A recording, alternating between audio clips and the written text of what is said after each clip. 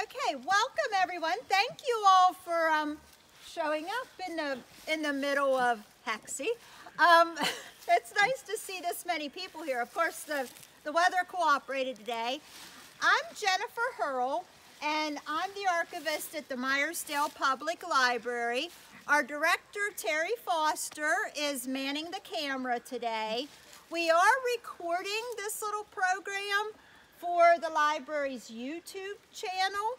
Um, and about halfway through, I want to encourage any of you, and you can be thinking about this in the next five or 10 minutes, any of you who have stories relating to Hexie, or in the case of some of you, Prissy Rugg, or you, we have some people here who are descendants of Prissy, but if you're comfortable doing so, we'd like you to, um, partway through our program, come up and share your stories because that, in the end, is kind of what makes all of this so interesting, people's own family stories.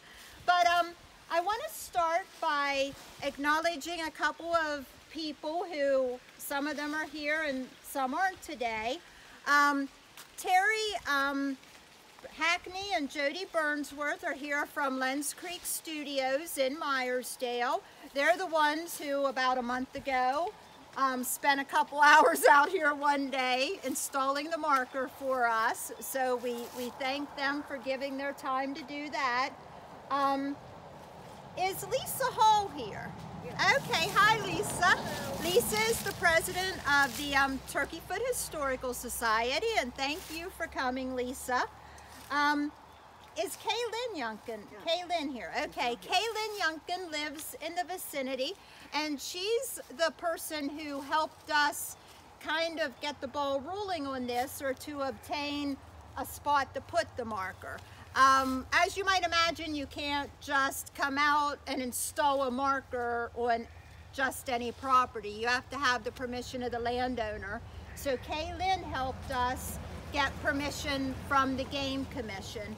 And there are three gentlemen with the Pennsylvania Game Commission um, who, who helped with that. Um, Stephen Lindecker, Travis Anderson, and Mike Gardner. They all helped us obtain permission to install the marker here. So we thank them and the Game Commission.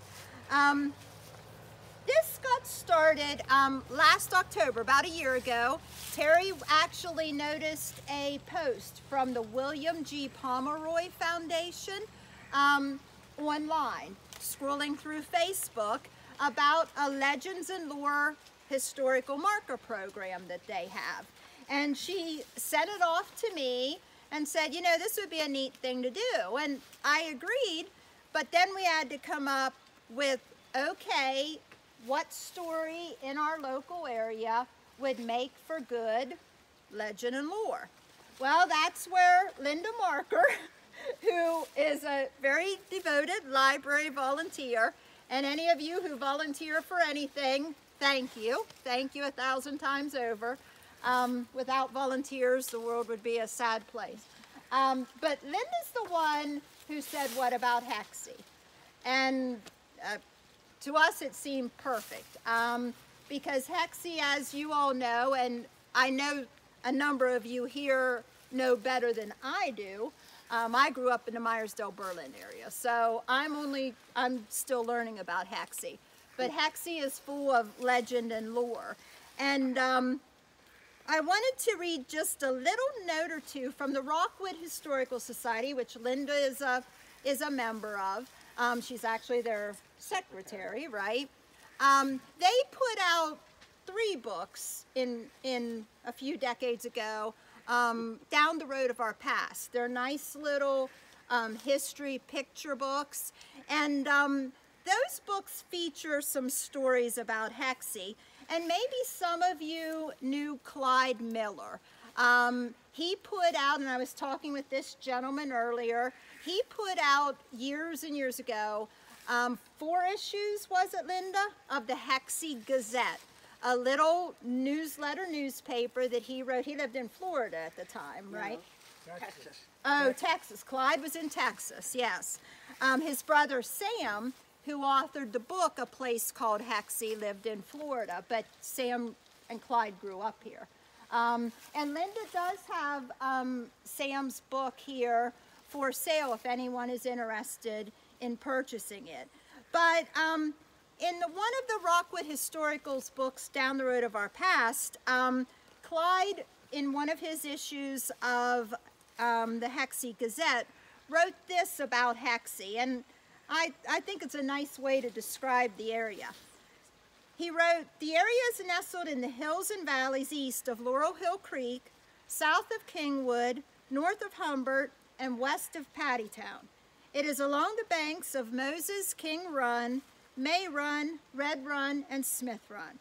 It is among hills called the Church Hill, the Ed Krieger Hill, the Barney Krieger Hill, and the Knob. It is amidst places like the Yunkin Place, the Henry Trimpe Place, the Old Dumbald Place, and the May Girls Place. It is in hollows like the Coke Oven Hollow and Chicken Bone Hollow. It had schools like Rhodes and King. It has a church called Old Bethel with a scenic view, but most important of all, it has heritage.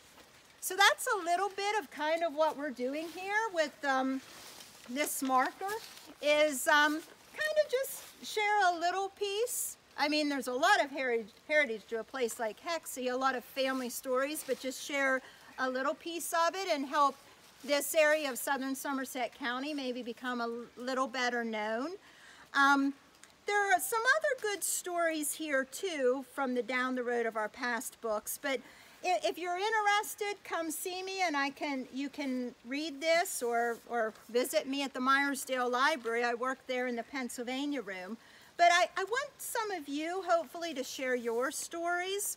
So um, before we get to that, um, I am going to read a letter from the Pomeroy Foundation because they're the ones who basically provided the um, money for this marker. The marker was managed or manufactured by a company, a little, it's a family run company, right Terry? Yes. In Ohio called Sewah Studios. I, I'm pronouncing that correctly. And um, they, um, they manufactured the marker, but the Pomeroy Foundation paid for the, it was a cost of $1,500 to have the marker manufactured. So it cost the library nothing. We just had to apply for it and they chose our story as one of, these legends and lore markers can be found um, all over uh, in many different states. If you go to the William G. Pomeroy Foundation's website, you can see the different ones. And they have other marker programs too. But I'm gonna read a short letter from them and then some of you hopefully maybe could come up and if you're comfortable doing so, just introduce yourself and why you're here and maybe a story you might have about this area. So this is the letter they sent. Congratulations from all of us at the William G. Pomeroy Foundation on the dedication of your Legends and Lore roadside marker. We send our greetings from Syracuse, New York, as you unveil this marker that tells of the local lore surrounding Hexebarger, also known as Hexie or Witches Hill. At the Pomeroy Foundation, one of our main initiatives is to help people celebrate their community's history. We do this by offering grants for roadside markers and plaques nationwide, as well as several, several other history-related initiatives, such as National Historic Marker Day, hosted annually on the last Friday of April. We feel strongly that markers help educate the public, encourage pride of place, and promote historic and cultural tourism. How did our mission come about? My dad, Bill Pomeroy, who is founder and trustee, has been passionate about history since his childhood. He has fond memories of riding in the car with my grandfather and seeing historical markers they would stop and read together. In 2005, when my dad established the foundation, he made funding historical markers a priority. He learned that New York State had stopped funding markers decades ago and left it to the communities to raise funds on their own. This was the impetus for the Foundation's first marker grant program and later became the springboard for several more programs with a variety of themes, including legends and lore. This marker program helps communities promote cultural tourism by highlighting their local folklore and legends. Today, with this Legends and Lore marker, you recognize the long-standing tales of witchcraft in Turkey Foot Valley. For your collective efforts in obtaining this marker, we send our appreciation to the Meyersdale Public Library and Meyersdale and Confluence communities. We would also like to thank our state partner, the Pennsylvania Center for Folklore, which helps to vet our legends and lore applications from the Keystone State. From all of our dedicated staff and trustees at the Pomeroy Foundation, congratulations on your Legends and Lore marker. Warm regards, Darren Pomeroy, trustee, William G. Pomeroy Foundation. And I would encourage any of you, um, you know, if, if you have an idea for one of these markers and maybe you're associated with the local historical society, I mean, you have to have a nonprofit who would apply for you and help you with that. It's actually, a, as far as grant applications go, it's pretty simple, straightforward. Um, it'd be nice to see maybe some more of these pop up around Somerset County, if anyone had any ideas. Um, before I turn it over to Linda for a story or two, she's given me the eye. Um, I also wanted to acknowledge Ron Bruner's here. He's with the Rockwood and Somerset Historical Societies, and he's doing a story on Hexie and, and the marker in the next issue of the Laurel Messenger. Um, which is Somerset Historical Center's newsletter. So look for that, and if you're not a member, maybe you want to join so you can get one. Um, Linda, would you come up and share why you thought this would be a good marker? Here I am.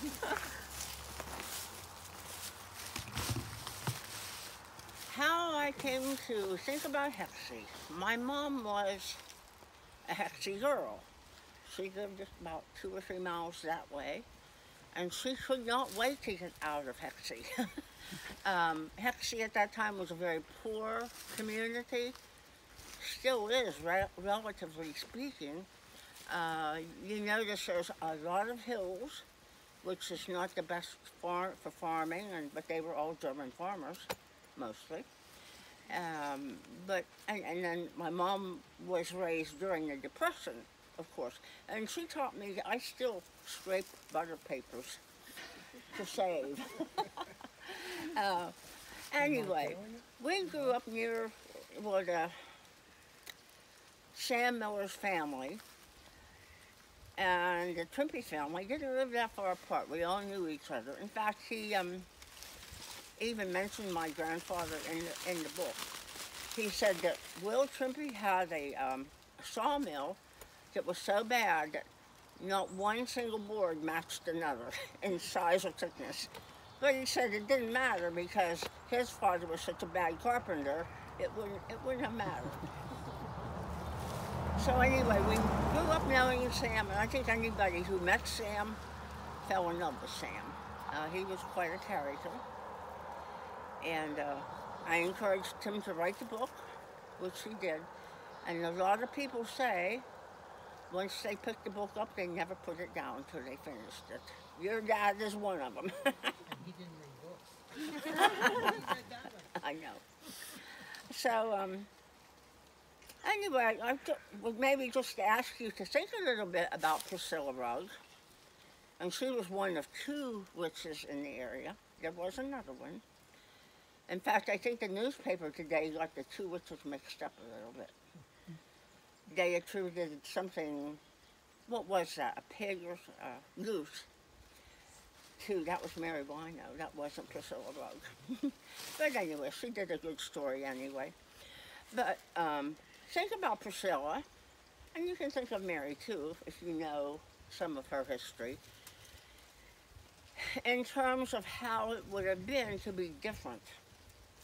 You know, we hear this is all the buzz now in the news. Everybody is discriminated against.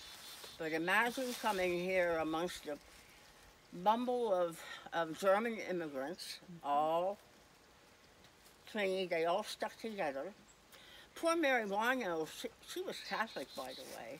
They wouldn't even bury her up in the cemetery where my mother's buried because she was Catholic. So they were very uh, discriminatory. So just think how, how it would have been. Maybe Mary, maybe Priscilla Rugg didn't know the people were talking about her, but I bet she did. And let that be a guiding principle now, you know. Mm-hmm. okay, that's all I have. Thank you, Linda. Mm-hmm. Um, who else would like to, would you like to mm-hmm. start? Okay, come up and introduce yourself. my sister with me. Explain your tie to the area and feel free to share. Hi, I, my name is Robin Hare, and this is my uh, sister, uh, Lana Hall, and uh, we're our maiden name is our maiden name is Crawford. My uh, grandmother, um, my mind went blank. A- Ethel Firestone is actually a straight lineage from um, uh, Priscilla, Prissy. I keep wanting to say Prissy Priscilla. Um, I did some, uh, I'm into genealogy heavy with my cousin from DC, so we share things uh, electronically when we find it. And so last night I got an email, uh, text message from her saying, you got to go to this opening or this uh, dedication for this plot, this landmark for Prissy. And uh, I didn't even know anything about Prissy's background. I had her in my family tree, but I didn't know that much about her. So I started reading things last night. And I thought, oh my goodness, you know, it's like, how is someone marked as a witch in a community of people that are like you like you were saying that they're they isolate themselves and they come in with dialects from their own country. And so they do sound foreign and there's a lot of german immigrants too. My grandmother's family was basically a lot of them from england a lot of them from austria. And even my own husband had a hard time uh, listening to my grandma talk. She he didn't understand most of what she said, and that's only one two generations away. So Prissy was my fifth great grandmother. So the whole idea of knowing that she's in this area and knowing how my great grandmother was. Uh, women of that source basically are canning, housekeeping, taking care of children. They didn't work outside the home, anything like that. I have a feeling from uh, just my understanding of my great grandmother or my grandmother, she was not a basic, um, she was a square peg in a round hole, so to speak. You know, she wasn't the typical housewife. She did it all, but she also was a single mother of five children. Her husband and her were divorced. She uh, chopped wood. She plowed fields. She mowed grass. She banked a fireplace, uh, furnace. You know, she did everything that a lot of men do in their households, and she spoke with a dialect. So knowing that Prissy was supposedly riding around through the the woods on a white horse, and that was like out of context for a woman of that nature, I just think that she was a woman before before her time. She was strong-willed and she did things that no other housewife did at that time. So she was looked at as very strange. I think I would have really liked her, you know. so, uh, but that's kind of like what I wanted to say here. That, uh, like you were saying, that people that are different, we always kind of tend to push them away from us instead of embracing them and learning from their difference and all the the cool things that she probably had to tell them. They probably would have mm. loved her, you know. So that's all I have to say. Thank you. Would anyone else like to share anything?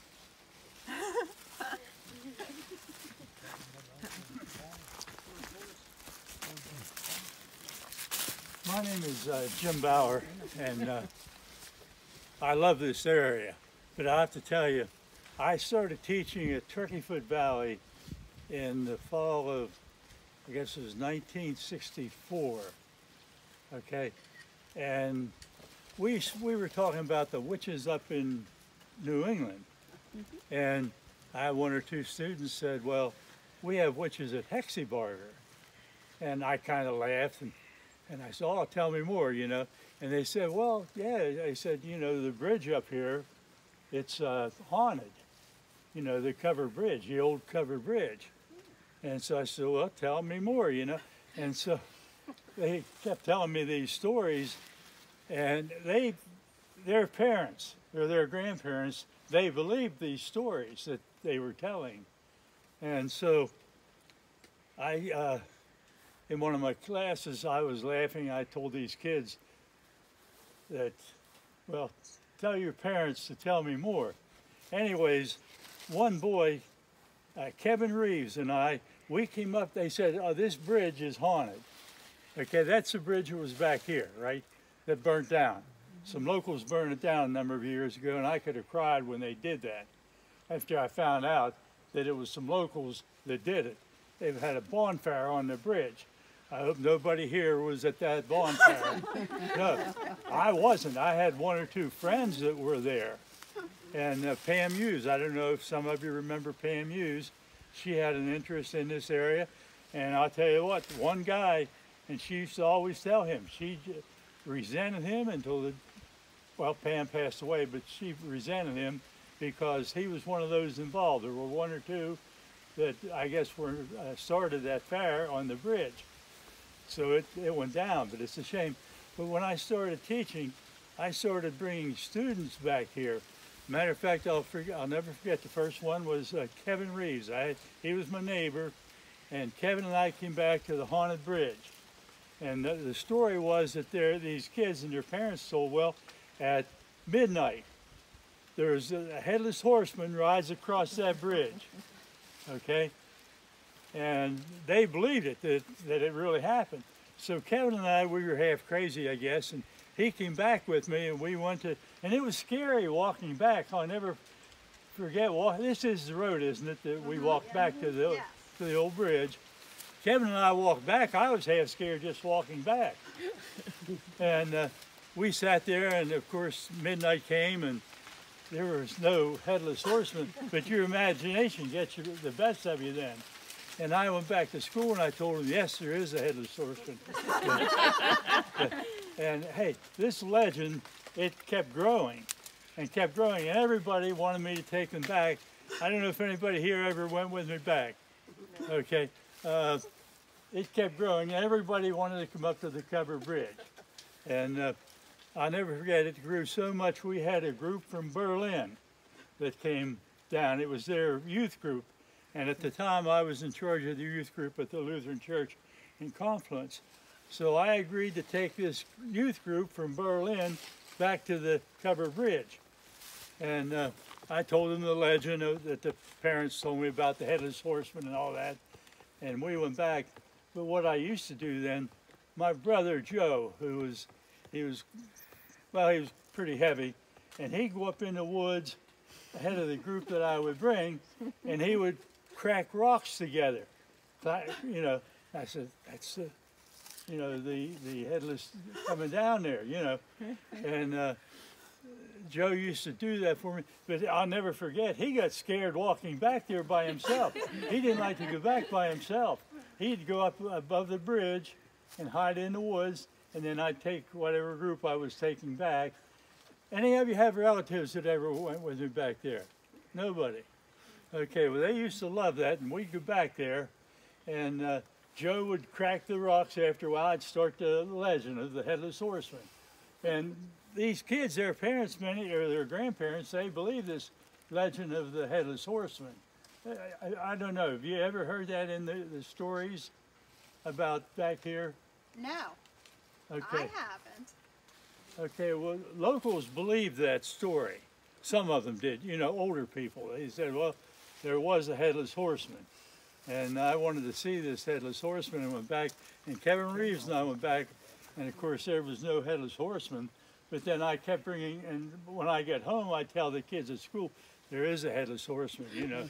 and so I had different groups that I brought up here. And one time we had a group from Berlin. They wanted to see this, the legend of the headless horseman. And uh, we got back there, and I'll, I'll, I will never forget. We were coming back out from seeing, and my brother Joe, you know, of course, cracked the rocks together and all that. They weren't. When you took a group, if you took one or two or three people, they'd be frightened. But if you took a group, they were, you know, they weren't frightened at all. And these kids from Berlin, they weren't frightened, but a matter of fact, coming walking back out, one girl started screaming at the top of her voice. She was screaming, and they put a light on, and here they brought a scouting from their school, and they laid it down in the woods up here, and they put that light, and I'll tell you what, my heart dropped. I'll never forget that. It was a group from Berlin, and uh, so they scared me, and it was. But anyways, we we kept taking groups out there, you know, and we try to do it just like two, three, or four at a time, because if you took a big big group, you you know, you get uh, ten teenage boys, they're not scared like that. But you get three or four like you know just by themselves, why, it was scary for some of them. Matter of fact, one girl, Mrs. Hickson's daughter, uh, she got. Uh, we went up and, and uh, we did that, and she got um, hysterical. She got hysterical, just started crying. I don't know if you ever heard that, Lisa. No, I haven't. Uh, her one daughter, not the oldest, I guess it would have been Nancy, but she got hysterical back here. But uh, we used to have more fun doing that, but I guess in some cases it got a little, people got scared, you know. You might have scared people a little too much. Well, we did uh, Mrs. Hickson's daughter. Yeah. I kidded her about. I had her in school, and I kidded her about. I still kid her about it. You know, when I see her, she comes home usually once or every other year or so. yeah. And uh, but uh, we used to have a good time doing that, and it uh, it kind of backfired on us a couple of times. Well, thank you. Thank Okay. you, Jim, for sharing. Okay. I, I was disappointed when they burnt this bridge down. yeah, that's a s- yeah, that's a shame. It is That's a shame. And then once a piece of history like that is gone, it's gone. right. Yeah. So, well, it- Lisa, you know who did that? No, You don't? I don't. I just remember your stories about it. About the head of okay. Mm-hmm. Lisa, would you like to say anything? As Other than, you know, I'm just supporting all of your work. That's well, thank you yeah, for coming. I'm, I'm still learning about this area too from uh, older members of the community. yeah. You know, the lady that I learned a lot of these things from, they had an article in the uh, Somerset paper.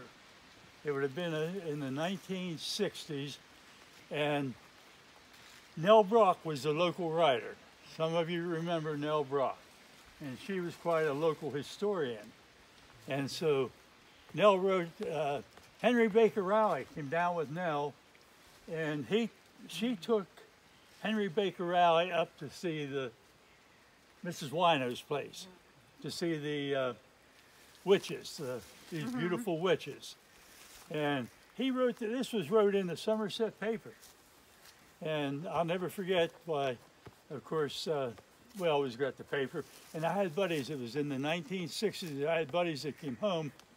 And uh, this is about the time, the week that, uh, that Henry Baker Rowley came down with Nell Brock to see the headless horseman, or to see these witches, these beautiful witches. And uh, anyways, my buddies, we came up, and Nell Brock was a friend of my grandmother. She lived the big house going across the bridge in in Ursina there. It was the big house on the other side on the right. And uh, she used to, actually, she used to have a, my grandmother was a good friend of hers, and she had a picture of a lady that if you looked at that picture long enough, her eyes opened.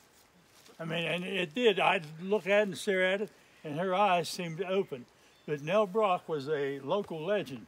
She used to come to the school and talk to our students about local history. Uh-huh. And she knew everything about this area. And she was quite a character. But she brought us up with Henry Baker Rowley. Uh, and uh, I will never forget she there was a road uh, back to where Mrs. Wino, I guess, lived because it was an old road. I had a 49 Chev, and she said, "This is a road. You have to go back here. You have to go back here." It was a 49 Chev, and I took my 49 Chev back that road, and back that road, it took out my exhaust system, my my tailpipe, and my my uh, muffler, and she. I'll never forget her laughing That's those are that's the witches. That's the witches. She was convinced that that was the witches that did that to us. She was something, but uh, she lived down across across the bridge, the big house on the right. It's a real big house. I forget even what it was called at one time. Well, remember where Nell or she lived down there? You remember Nell Brock? I, I know, I've heard, I know the name and stuff, but, uh, you know, I just can't remember about it. I'll tell you what. Too far back now. Well, when I bring buddies home like that, okay, she always put their name in the paper. She did a local column, and they they ate that up. You know, Yeah. they'd see their name in the paper a week or so later. But I had brought others there, and and she'd always put their names in the paper. And Did but she have anything to do with that gladiola farm? No, I don't think so. No? Oh, was, was, was right there, she could have, Yeah. yeah. it was right there. Yeah, Yeah. Oh, was it in Ursina up? yeah. My, my family did that. They had a huge field of gladiolus there, Yeah. and they also did another one up on the mountain. Uh, I don't know where that area was up by uh, Cheryl's family, but everywhere you could look, it looked like you were in Holland. Yeah. And I can remember when I was a kid, they were all seg- segre- segregated by their colors, and it was it was like looking at a rainbow on the ground. It was beautiful. It was. But there was one in Ursina, and the same fam, the same part of the family did that field in behind. There was a little store there, and you went in the back, and that entire field, and that was all my family. My sister worked there. Oh, I in that little store. She was going through school, she worked in the Gladiola farm. Oh, really? I remember going there with my mom because my grandma lived across the river. I was telling them in mm-hmm. that big yellow house, mm-hmm. and that was Yeah. my great grandmother. And we'd walk up there. There was a little swimming hole, so we kind of hung around Yeah. that area all the time.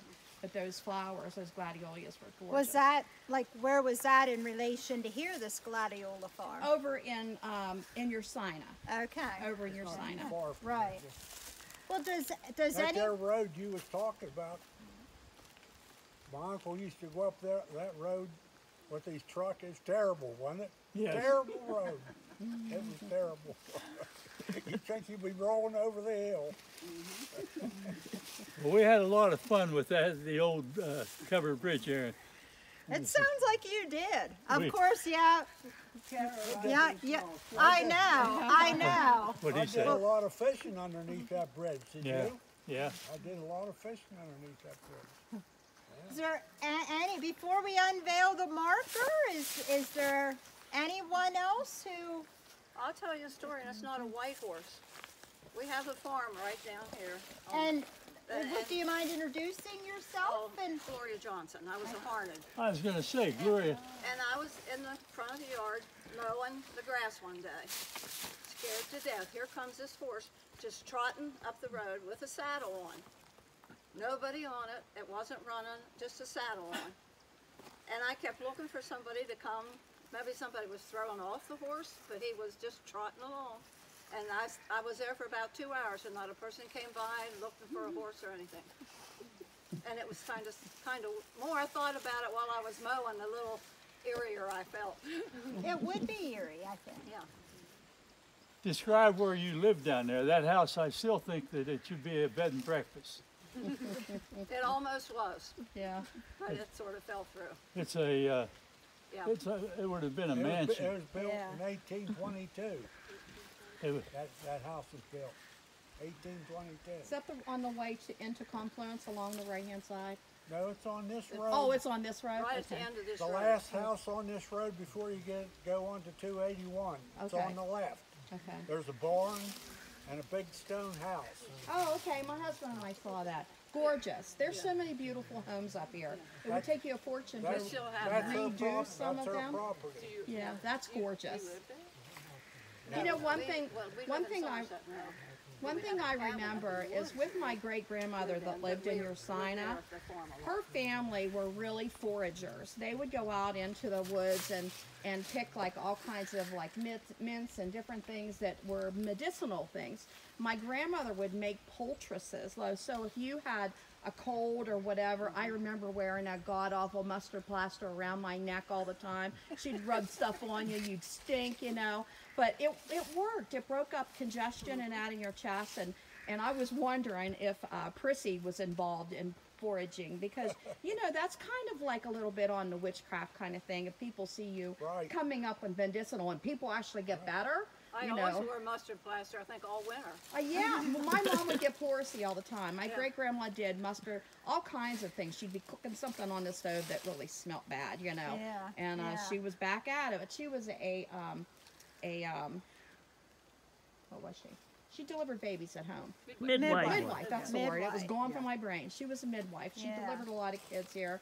Um, delivered actually my sister and my other sisters. I was Dr. Price delivered me. But I think the poulticing and the foraging is part of that kind of the lore towards witchcraft. Right, right. Things that can't quite be explained. Yeah, Yeah. because medic- uh, medicine wasn't really a, a real proven art back then. You you got like maybe you got penicillin when you were sick, but Right. you know that was the only thing they had to go on, like Indian ways and different things like that that they learned from their families. You know. Before we unveil the marker, and I'm going to ask Jody and Terry to do that since they so kindly installed it for us, I am going to read just this one little paragraph from the Rockwood book, one of their volumes of Down the Road from Our Past. Um, and this is um, from an article by Paul E. Trimpe. Hexebarger or Witch's Hill, the story has it the name was originated by Prissy and Sammy Ruggs. Sammy was Prissy's husband, two people who lived there in the old days. It seems that when Prissy married Sammy, her father gave her a beautiful white horse. Mm-hmm. After that, Prissy would go off anytime she felt like it. She would supposedly hex people when she went on these rides. When the inhabitants of the area would see her coming or her horse, they would scurry off in fear. So, we'll never really know the true story of Prissy. I think most stories get passed along at some point in the beginning. There's some piece of truth to them, but we all heard how your stories about the headless horseman grew. So, um, I don't know. Hopefully, Prissy would may, maybe be a little flattered that we're we're dedicating this marker today um, here in Hexie. And again, thank you all for coming. We're going to have um, Jody and Terry unveil the marker, and then afterwards we do have a few treats since it's almost Halloween. Um, there are a few little there's water here in the um, cooler that Linda brought. Thank you, Linda. And some treats and a few, in those little brown bags from the library, there's just some nice information on our library. So, You know, I guess they know that this was a big town at one time. Y- up here, yeah. yeah. All right, Terry and Jody, go ahead.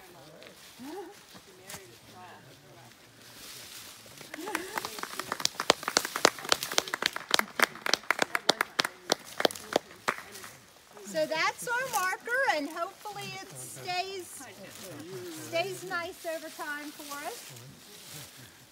There was a, at one point, I think it was maybe Chrissy's Thank you. granddaughter, Mr. Rugg, and she married a Switch.